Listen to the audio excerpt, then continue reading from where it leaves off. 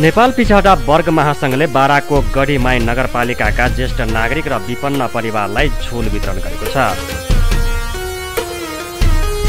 लामखुट्टेबाट बच्न महासङ्घले झुल वितरण गरेको हो। उनीहरूलाई महासङ्घका सचिव रजनीश कुशवाहा जिल्ला अध्यक्ष उमाशङ्कर कुशवाहाले झुल वितरण गर्नुभएको थियो।